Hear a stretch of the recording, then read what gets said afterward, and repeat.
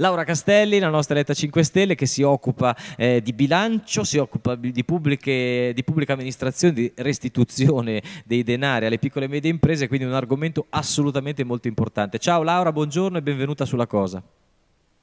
Ciao, oggi abbiamo voluto chiedervi questa diretta per raccontarvi che cosa è successo ieri uh-huh. e che cosa succederà questo pomeriggio.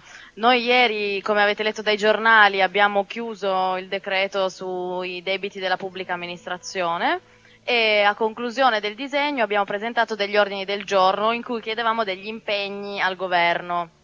Uno di questi impegni eh, è quello di eh, appunto impegnare il governo a pagare tutti i crediti che la pubblica amministrazione ha nei confronti eh, della pubblica amministrazione stessa. Per cui che cosa è successo? Il governo ci ha dato parere favorevole e ci ha detto che è intenzionato a trovare modi per poter pagare tutti questi debiti. Quindi noi ben contenti abbiamo preso um, l'ordine del giorno che è stato approvato e adesso faremo una, una conferenza stampa dove spiegheremo intanto perché oggi a chiusura del decreto ci siamo astenuti come votazione. E noi ci siamo astenuti dalla, dalla votazione del decreto 40 miliardi perché crediamo che pur essendo giustissimo cominciare a pagarne una parte, questa non basta e bisogna migliorarne meccanismi, i criteri, bisogna insomma fare altro lavoro. Per cui attraverso questo ordine del giorno il governo ora non ci può più scappare perché ci ha promesso che anche lui si vuole impegnare per pagarli tutti e sono, stiamo parlando di circa 120 miliardi, quelli stimati ovviamente.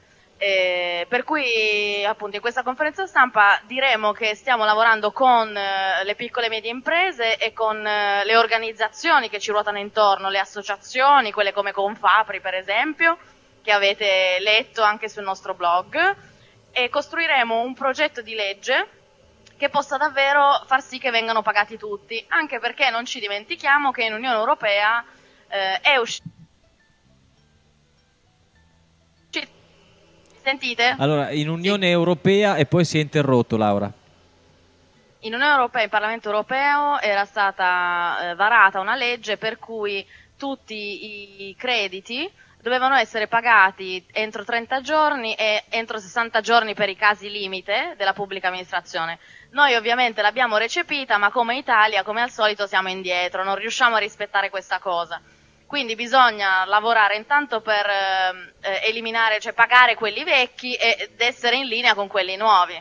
Per cui in questo momento mh, mm, noi faremo questa conferenza stampa dicendo presenteremo il testo e chiederemo al governo di fare ciò che eh, si è impegnato a fare ieri, ossia portare avanti questo testo di legge e finalmente pagare tutti i debiti che eh, lo Stato ha rispetto alla pubblica amministrazione. Laura, a pelle, come ti sembra questa apertura del governo, insomma questa approvazione del fatto quantomeno che vi stiano a, pare che vi stiano a sentire? C'è dietro qualcosa o si sono resi conto che comunque quella è una strada che per forza bisogna percorrere perché la situazione davvero nel nostro paese è così grave che non si può più perdere tempo e non si può lasciare nessuno indietro? Guarda, quello che è venuto fuori dal lungo dibattito di queste ultime tre settimane su questo decreto è che Intanto eh, un sacco di aziende hanno chiuso e sono fallite anche causa eh, il non pagamento di questi crediti. E di questo ne siamo certi, cioè ci sono dati molto forti, molto reali, per cui non ci possiamo permettere di continuare a far morire aziende e soprattutto farle morire perché lo Stato non le paga, è una cosa assurda. E poi quello che non funziona è il sistema contabile ancora una volta, quindi noi ci siamo battuti per far capire a tutti quanti che oggi il paese Italia sta andando a rotoli anche perché ha un sistema contabile sbagliato, che se ci pensi è fuori da, da, dal mondo che un paese fallisca perché non riesce a tenere la contabilità e a fare il buon ragioniere, no? Cioè, eh, siamo, siamo pazzi. Certo. Questo è quello che sta succedendo. La loro apertura c'è perché sicuramente ci scontreremo sui modi, eh, perché noi puntiamo sulla compensazione dei crediti fiscali, di cui poi magari vi parliamo più approfonditamente un'altra volta, oppure sul rendere pubblica la cassa depositi e prestiti. Eh, insomma, metodi eh, nuovi e che hanno un'evidenza molto rilevante. E quindi l'apertura è un atto dovuto in qualche modo. Certo. e noi non possiamo fare altro che utilizzarla in questo momento. Senti, Francesco Mascarella ti fa una domanda dalla chat, Laura, è un po' generica, però credo che sia interesse di tutti capire almeno la strada che i nostri parlamentari 5 Stelle stanno cercando di iniziare a percorrere. Eh, a chi andranno questi soldi? Io aspetto da 1800 giorni, cioè una cifra senza senso. Sì, allora, questi 40 miliardi che abbiamo appena varato in realtà sono 20 per un anno e 20 per l'altro, per cui si sono trovate delle coperture pazze, per esempio noi ieri abbiamo fatto una battaglia fortissima perché eh, nei tagli lineari che saranno fatti sui ministeri, noi nell'emendamento chiedevamo ovviamente di non tagliare università, ricerca e istruzione intanto eh, e in maniera univoca PD e PDL eh, ha voluto inserire come mh, fondo da non toccare quello relativo all'Expo, che voi tutti conoscete. Esatto. E noi ci, noi ci siamo arrabbiati davvero molto, eh, anche perché Expo in questo momento vuol dire indagini, vuol dire inchieste, vuol dire odore di andrangheta e vuol dire tanto altro, oltre che lo sviluppo di cui loro parlano. Eh, Beh, ma la mafia a Milano non esiste, eh. volevo di, raccontarti che non esiste la criminalità organizzata, la movimentazione terra è in mano tutti ai, alle suore benedettine. Esatto, non esiste. In ogni caso, questi soldi, una parte sarà liquidità che si permette alle regioni di utilizzare eh, dal loro bilancio, diciamo, quelli fermi dai famosi patti di stabilità perché molte regioni, molti enti hanno dei fondi che non possono usare perché sono bloccati dal patto di stabilità, che è un criterio con cui noi, cioè l'Europa cerca di calmierare la spesa pubblica, in qualche modo. E, e, poi un'altra parte sarà debito nuovo, debito che incide sul debito pubblico. E qui ovviamente si apre tutta la discussione su ma siamo sicuri che i conti che il governo sta facendo siano corretti sul famoso 3% di eh, rapporto debito pubblico PIL, mm. qui quello che abbiamo scoperto è che le stime sono sempre sbagliate, che partono da dati non corretti e che generano quindi altri dati sbagliati, per cui eh, questa è una missione di colpa che anche loro stessi fanno, però come dire, per loro è, è il motivo e lo scamotage per fare le cose. Quello che noi ci auguriamo è che insomma, questi, tutti i debiti che veng- verranno pagati verranno pagati un po' con ovviamente denaro, un po' con altri sistemi tipo la compensazione che oggi eh, dovrebbe essere maggiormente spinta, per cui si, alle- si allevia l'azienda, le imprese. Tecnicamente come funziona la compensazione? Cioè se io ti devo, a te Stato devo dei soldi come azienda, ma tu me ne devi a me, andiamo a fare il conto, la differenza, questa è la compensazione? Una compensazione si può fare sì fiscalmente, quindi se tu mi devi delle tasse per esempio, allora mm-hmm. se, mhm. se, tu mi devi delle tasse io ti devo pagare una fattura, magari la compensiamo, no? Certo. Eh, per cui tu non devi eh, tirar fuori altro denaro.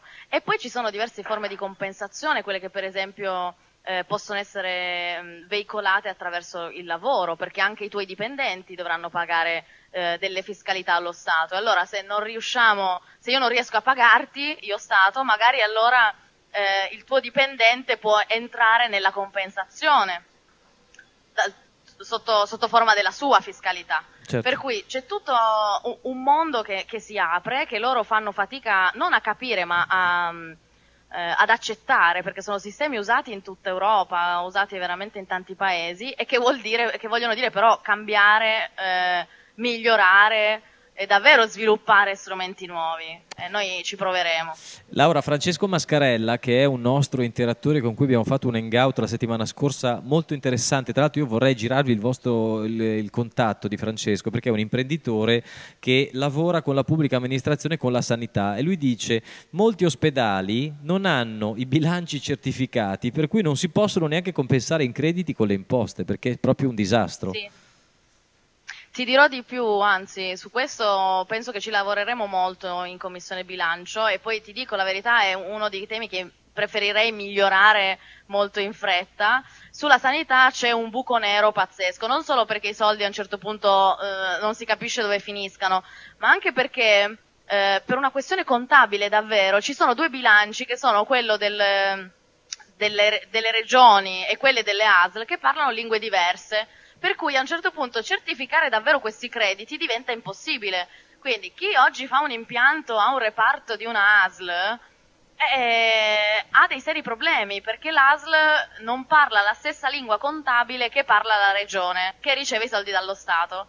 Quindi c'è un grossissimo lavoro da fare sulle questioni contabili che non è per nulla banale se pensate che ogni regione del proprio bilancio pubblico occupa l'80% per la sanità, per cui sicuramente eh, chi lavora per la sanità oggi è, è, maltrattato dal punto di vista del diritto al pagamento. Laura, esuliamo pochissimo da questa cosa, poi vi lascio perché avrai una giornata immagino molto importante, però siccome si parla sempre di bilancio, c'è un problema che viene spessissimo citato qui in chat, ovvero della famosa IVA di cassa. Gloria ci dice per esempio qui in UK le fatture si emettono a fronte del pagamento forma perché c'è sempre il problema di fa emettere fattura nei confronti della pubblica amministrazione ma anche tra privati e poi aspettare so, 6, 8 mesi, 10 mesi che venga pagata questa fattura e nel frattempo non solo si ha la beffa di non aver incassato il proprio credito ma ci si paga anche l'IVA, cioè si versa allo Stato una somma che in realtà non è stata percepita. Ci sarà la possibilità di discutere, di portare questa discussione? Sì, guarda, questo è uno dei punti insieme a quello che vi raccontavo prima, che saranno i nostri, diciamo, prima, primi quattro punti sull'impatto ehm, con le piccole e medie imprese. Quindi ehm, noi oggi sappiamo che c'è già una legge che permette alle aziende che hanno un fatturato sotto i 2 milioni di euro di utilizzare una, una, un'IVA per cassa.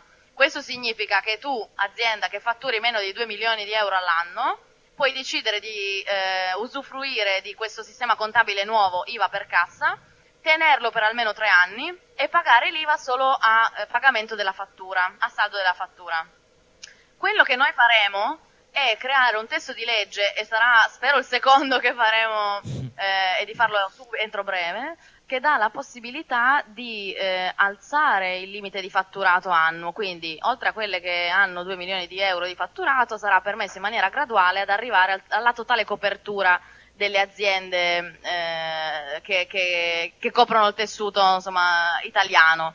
Eh, noi vorremmo farlo perché, a parte essere importantissimo, ma in questo momento partire dalle piccole e medie imprese vuol dire davvero cambiargli, cambiargli la possibilità di sopravvivere o no, cioè decidere della propria sopravvivenza. Oltretutto questo nuovo metodo non è stato molto pubblicizzato perché tante aziende piccole non lo sanno, non sanno che la famosa IVA per cassa che uno sbraita alle manifestazioni a favore delle piccole e medie imprese in realtà è già stata eh, approvata in piccola parte, quindi questa sarà un'altra delle nostre grandi battaglie. Il testo tra l'altro è molto semplice, quindi speriamo in un paio di settimane di poterlo concludere e poi lo spingeremo anche questo. Volevo solo aggiungere che tutte queste cose sono possibili perché noi, eh, oltre vabbè, alla nostra mm, competenza personale, stiamo utilizzando la rete delle piccole e medie imprese e lo facciamo quotidianamente. Sul territorio lavorano con noi e riusciamo ad avere un'interazione veramente molto forte, cioè scriviamo gli ordini del giorno insieme e lavoriamo molto con loro, ci sentiamo spesso, quindi penso che sia importante. Eh, Laura, sarà possibile, mi chiedono, eh, attivare un indirizzo email, una casella di posta dove possono scrivere direttamente a voi eh, come commissione bilancio per fare delle proposte, per eh, darvi dei suggerimenti? Magari c'è già e non lo sappiamo ancora? Sì, allora stiamo concludendo la creazione di queste mail. Eh, ti dico, molti di noi, oltre alla pagina che sarà creata eh, sul, sul blog, perché ci sarà data una pagina per ogni commissione dove vi aggiorneremo. Alcuni di noi stanno preparando anche delle pagine Facebook proprio sulle commissioni, quindi eh, è tema di questi giorni, ci stiamo organizzando. Comunque a brevissimo ci sarà una mail per ogni commissione dove ci potrete chiedere, aggiornare, mettere in luce alcuni argomenti, insomma, interagire. Evviva Laura Castelli, evviva i deputati eletti 5 Stelle e ditemi a voi tutti che ci state seguendo se è mai esistita nella storia della Repubblica la possibilità di parlare con i propri eletti, portavoce, strumento dentro le istituzioni che con questa chiarezza e competenza alla faccia dei cittadini inesperti stanno raccontando che cosa succede nei palazzi del potere, stanno trasformando i muri del palazzo di Montecitorio eh, in eh, vetrate perché diventano trasparenti. Grazie ragazzi del vostro impegno e del vostro lavoro. A che ora sarà questa conferenza stampa? Stampa, la potremo, non so se la potremo seguire in, in streaming, non credo che ci sia lo streaming, non lo so, però... Non, non lo so, devo chiedere, devo chiedere, qua ai ragazzi. In ogni caso vi aggiorniamo e in ogni caso sarà fatto il video, quindi la potrete vedere. In ogni Eh, caso, Laura è stato- Castelli, grazie mille per la tua competenza. Qualcuno fa anche i complimenti ai tuoi occhi. So che anche, ci sta anche che qualcuno abbia, eh, sia appassionato di, di estetica. Grazie alla dottoressa Laura Castelli, eletta 5 Stelle, Ciao. nostra deputata. E viva le donne 5 Stelle, ma viva anche gli uomini 5 Stelle. E viva tutti i nostri Ciao. eletti. A presto. Ciao Laura, Ciao. grazie mille. Buon lavoro, buon lavoro per noi tutti.